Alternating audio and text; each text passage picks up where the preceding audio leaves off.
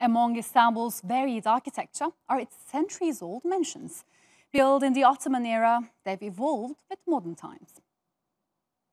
And their stories are being told in a multimedia theatrical experience entitled House of Hundred. For creator Yeşim Özsoy, the story is personal. It's about the mansion her 100 year old grandmother worked and lived in, in the Üsküdar neighborhood of Istanbul. I'm joined in the studio by Yeşim Özsoy herself. Thank you so much for coming on our set today. So, Thank you. I'm going to ask a lot of questions about the play, of course, but before we get into this, can you please tell me about, about your grandmother and your relationship with her? Well, I mean, um, basically, um, the project is uh, based on her stories that she told me. Um, I have been talking to her about, because she's an old lady, let's say, uh, 100 years old. She was born in 1919, 15th of March. And uh, it's very interesting to talk to her, to listen to the old stories that she's, uh, uh, she mentions, and um, especially about how it was during the transition from the Ottoman Empire to the Republic. And also there are stories that she, he, she heard from her own uh, great-grandfathers or grandmothers.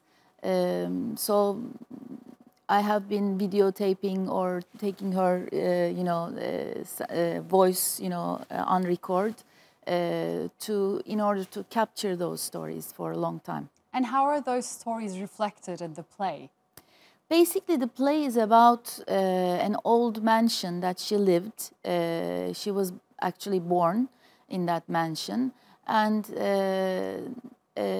the play is about the transition from the Ottoman Empire to the Republic, and this mansion used to belong to her great grandfathers, uh, and they were um, servants.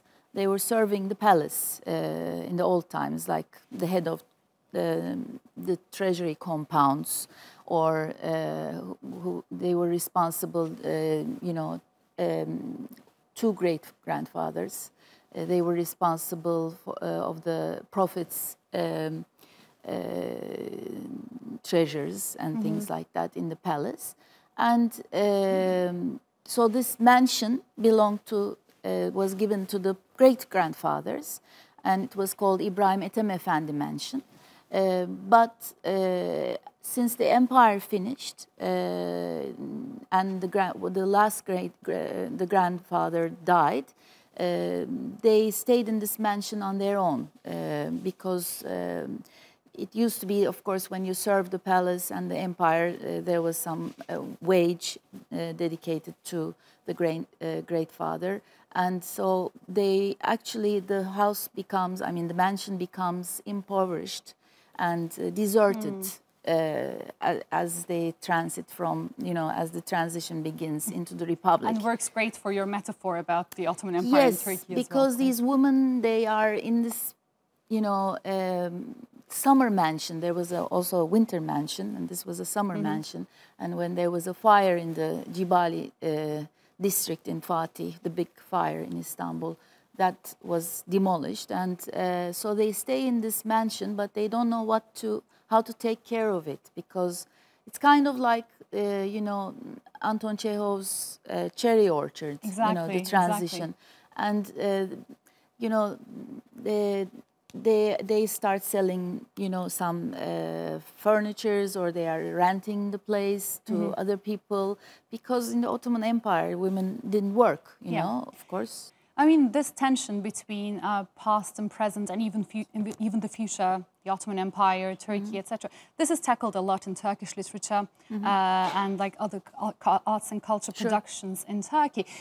Why did you want to do something about it? Mm -hmm. I mean, because I sometimes feel like it's overdone, to be honest with you. So mm-hmm. I wonder what, what's your take on it?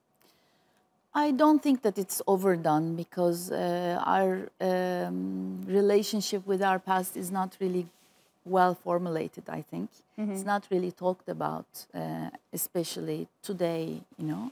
Uh, that's what I feel. And um, maybe in a sense that uh, instead of disregarding this whole past, to remember and to understand this past. I'm, and this is a uh, dilemma that we are living through right now, especially you know when the modern Turkey is taking its turn. We have other talks about you know uh, valuing maybe the Ottoman Empire and, and what it means for us, but then how do we exactly approach the, all these issues? And uh, the reason why the play came out was basically it's a, a co-production with uh, a theater in Berlin. It was called uh, Maxim Gorki Theater, and uh, and also uh, in Zurich, Theater uh, Neumarkt. And this was a co-production um, done for the festival that Maxim Gorki did uh, in 2000 at the end of 2018 in October.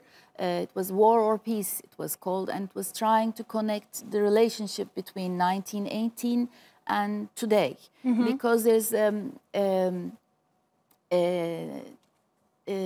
there's a dispersed the, the, the, the, during that time there's the first world war and there's of course the nationalism mm -hmm. uh, is rising and uh, there's some kind of a uh, new identities new, new identities and everything is deconstructed somehow uh, and and, and that time also also is is happening somehow right now in terms of uh, the countries mm -hmm. being mm-hmm. more close uh, within each other and uh, maybe not accepting other countries. Uh, for example, now the whole European Union is talking about not uniting, but how do we unite, you know, uh, yeah.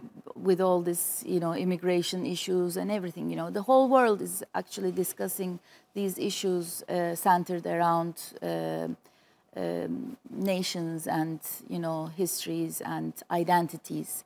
So uh, when they asked me to do a play like that between to co to connect 1918 and 2018, and it was a project for this festival. Um, uh, I didn't. I'm not an historian, so I thought uh, since I'm not an historian, I. You came up with a subjective I, I went to my grandmother basically yes. and asked, "So, tell me what happened." So that's basically. Well, sounds like it worked because mm. you got a lot of praise from mm. the international media as well. Well, Yeşim Özsoy, unfortunately, this is all the time we have, but thank you so much for joining us on You're welcome. Today.